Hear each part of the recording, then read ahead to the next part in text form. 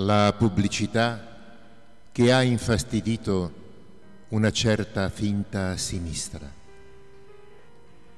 I cosiddetti progressisti non ne azzeccano una neanche per sbaglio, perché sono l'incarnazione del male, perché sono solo figli del demonio.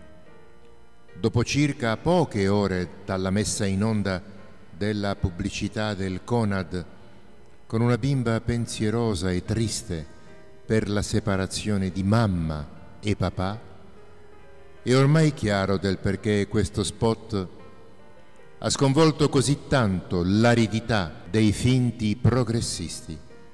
Non è l'innocente Emma a dare fastidio e non è nemmeno il suo gesto, non è l'immagine della coppia divisa accompagnata dalle musiche tristi di sottofondo.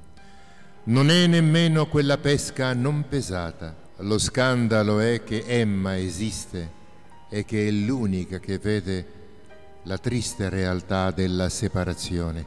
I ben pensanti progressisti non possono accettare che questo sia pubblicizzato, che la separazione è un male e non possono accettarlo perché, perché è la verità.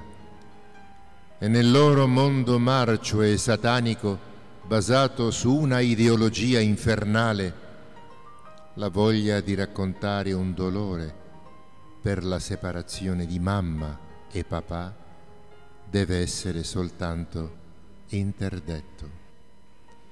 Sia lode e gloria a te, Signore mio Dio, venga il tuo regno. Amen.